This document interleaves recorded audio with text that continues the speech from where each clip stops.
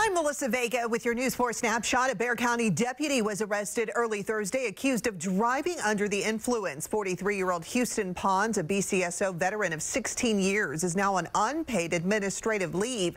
The sheriff's office says a separate administrative investigation is underway while SAPD handles the criminal case. Ford is hitting the brakes on its plans to expand their range of electric vehicles. The automaker saying they're going to delay an all-electric electric SUV and instead expand its line of hybrids.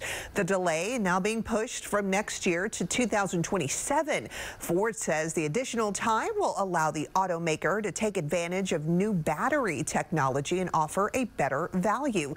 And if you ever dreamed about taking a cross-country tour? Well, the latest job posting from Planters might be what you're looking for. The company is looking for three peanut ambassadors to escort Mr. Peanut across the nation in the Nutmobile starting this June until June of next year.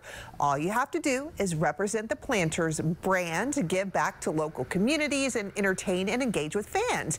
You have until April 14th to submit your resume and a short video describing yourself to the company if you want the role of a lifetime. And you can stay up to date with all of the headlines and the latest weather on the News 4 app. Just look up WOAI in your app store.